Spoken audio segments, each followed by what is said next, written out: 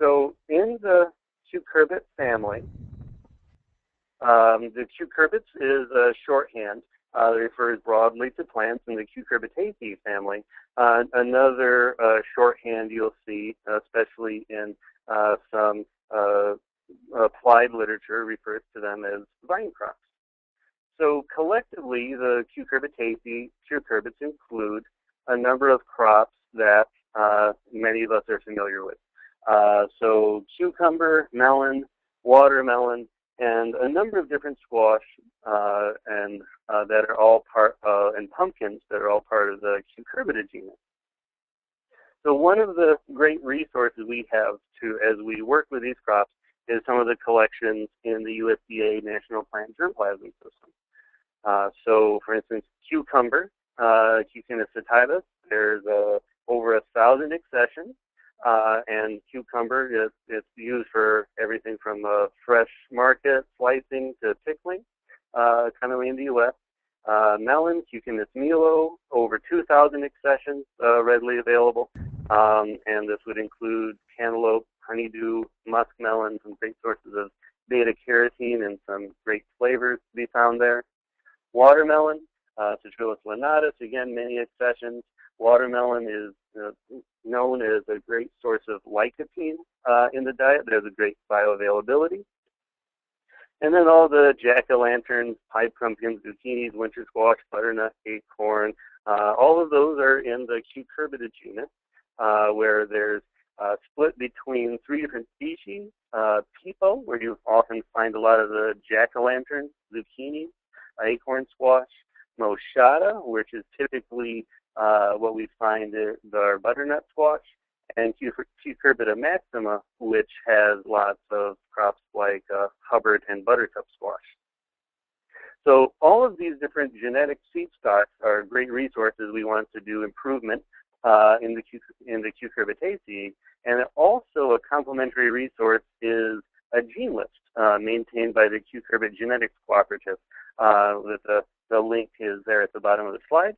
And what that does is it has a lot of these different crops and some of the major genes that have been found to be important for uh, improvement of these in terms of growth habit, yield, disease resistance, color, and uh, a long list that you can see more there. That's just a very nice roadmap for us as we do some of our uh, reading to be able to guide uh, some of our approaches.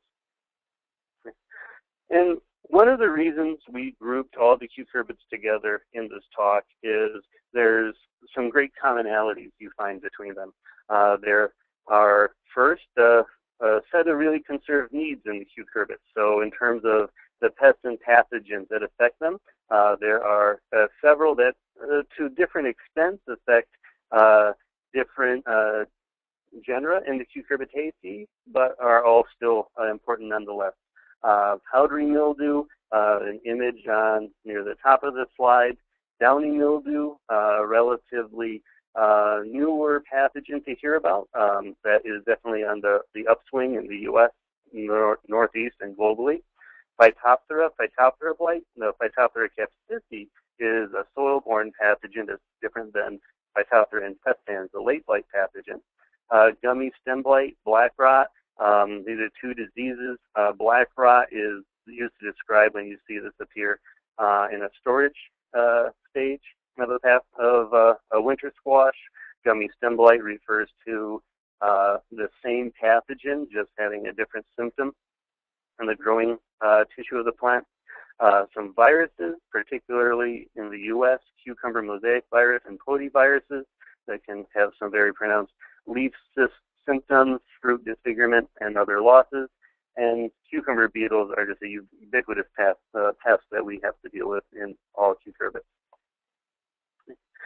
In addition to having all kind of some of the same breeding goals, another um, uh, commonality is they all have a similar breeding approach. Uh, so for the most part, uh, all the cucurbits we work with are self-compatible uh, diploids and they have little inbreeding depression. Um, and with that, it really lends itself to a pedigree approach.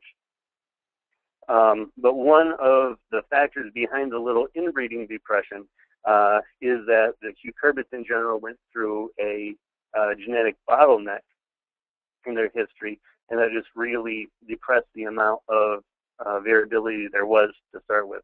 Uh, so things we can do to increase diversity is also important. I'll talk about that later. Uh, but right now, um, recurrent selection is also something that uh, works well with this crop um, because it's monoecious. Um, and so you get a lot of pollination happening by bees that are moving uh, pollen between male and female flowers on one plant and different plants. Um, we also, though, find a lot of other uh, forms of sex expression in the cucurbits. For instance, uh, gynoecious plants are common in high-yielding cucumbers, so every flower uh, on the cucumber plant uh, makes a cucumber fruit.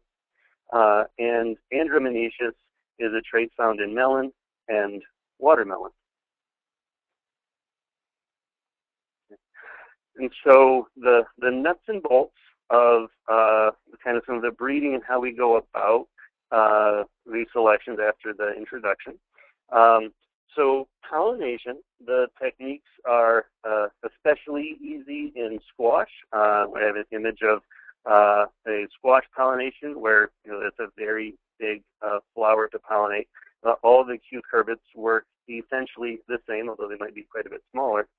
But so the day before, uh, we close the buds that we're going to want to cross the next morning. The key is selecting buds that have full color in the petals. Uh, and if we're doing this inside in the greenhouse where we have good insect control, we don't have to worry about flying bugs, uh, we can skip this step and that saves uh, quite a bit of work. Um, then the other step that we have to do with some flowers, actually before we close them, is there are some flowers that need to be emasculated. And so if they are perfect or complete flowers, for instance, on those andromonoecious plants, we have to remove the anthers also the day before so we don't end up with a self-pollination where we want it across. So the morning of uh, the pollination, uh, first is a matter of unclipping the flowers, transferring the pollen. Uh, in the case of cucumber that doesn't produce much pollen per flower, we'll use uh, more than one male flower to do the pollination. And then it's just a matter of uh, covering the female flower with a tightly affixed bag or a gel cap for some of the smaller uh, flowers, uh, like in melons and watermelons, uh, just to make sure that no other bees get there with any other pollen. So the duration of the time we have to do these pollinations, so when pollen shed will start, will depend on the season, day length, and uh, the weather, and especially in the summer as the temperatures get really warm, as the day gets really hot, we'll find that the pollen is just viable for a shorter period in the day. So we try to get all our pollinations done before lunch in the summer. And in some of the crops uh, where we want need to uh, modify the forms of flowers that are available to us, um, so either if we need more female flowers or more male flowers, there's some chemical control that we can uh, add to be able to influence that. So, for instance, if we need to increase the number of female flowers or get a male plant to produce female flowers, there's a chemical ethephon that can induce the number of female flowers. And there's also uh, silver compounds like silver thiosulfate that we can spray on a uh, female plant, the growing tip, to uh, make it start to produce some male flowers. Also, uh, for organic growers that want to do a seed increase of a all-female gynoecious line, uh, there's some gibberellins that can be used. Uh, and so, especially with these uh, all-female lines, uh, having all the flowers in the plant yielding fruit is important uh, for yield for the grower, and it's also important for hybrid seed production, or if you have an all-female plant next to a monoecious plant, uh, you can very efficiently produce seed. Uh, uh, cucumbers that way that are a hybrid where all the seed you collect off the all-female line is pollinated by the monoecious one next to it. There's also some convenient uh, things that change during the season. Uh, for instance, watermelons are especially difficult to pollinate in the summer because the flower buds are green uh, and hidden uh, right before uh, the day before they open for pollination. So as you move into the greenhouse, especially in the winter, we find many andromonoecious flowers that become monoecious, and so that just really expedites the process. And so if we look at the whole uh, process uh, throughout the season, so right now, uh, starting yesterday in fact, we start to sow seed in 50 cell trays to go to the field. In early June, we will transplant our hardened off seedlings. The pollinations will start in early July and continue to mid-August with some of the uh, shorter season squash like Cucurbita pepo flowering earlier. And then after we do a pollination, in addition to writing the male and female parents on the tag, we also include the date, and that's important uh, to make sure that we leave fruit on until the seed are ripe and mature, which is about uh, six weeks, uh, about eight weeks for winter squash. Then we have uh, a month or two to get some data analysis done before we need to make our selection to decide on the winter generation we'll plant in the greenhouse. And so we try to stage it so the winter generation is smaller. Many of these are large plants that need to be trellised in the greenhouse. Um, and so we try to have our big populations in the field. And, and also in the greenhouse generation, we set up the the population so we can avoid selecting for traits with a lot of G by E because we don't want to be necessarily selecting for adaptation to the greenhouse in the winter uh, if we're looking for a field grown plant. And one of the challenges in cucurbit breeding. Uh, I refer to as the uncertainty principle with squash. Uh, applies to all cucurbits.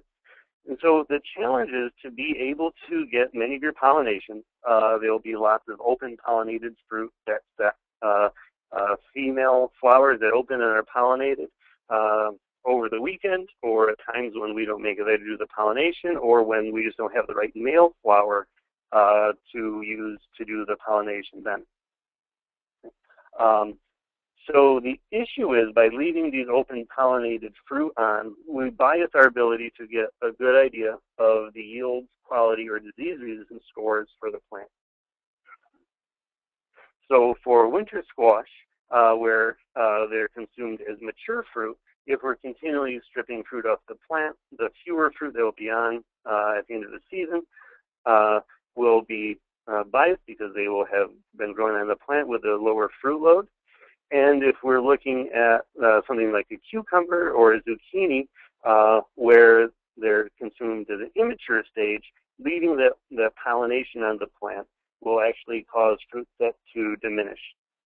And so in either case, leaving uh, those fruit on the plant or taking them off are going to bias uh, the phenotype we observe of the plant and how we evaluate it if it will advance or not in the breeding program.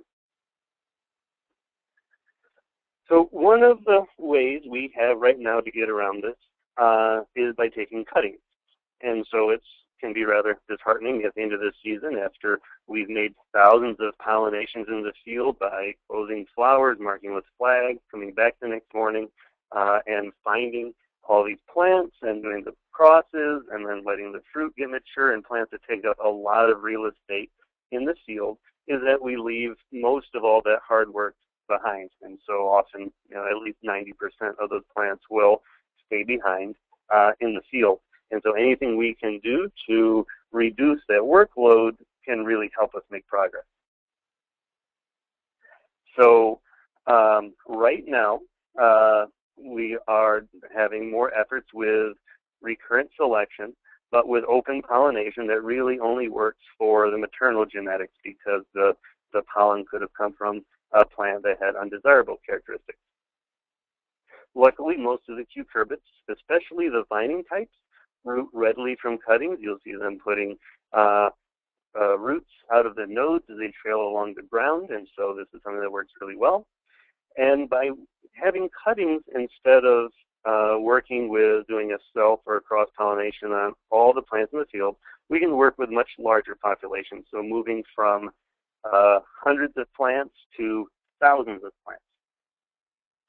And having those much larger populations, uh, uh while it results in fewer generations per year, we can get more gain per generation with less effort.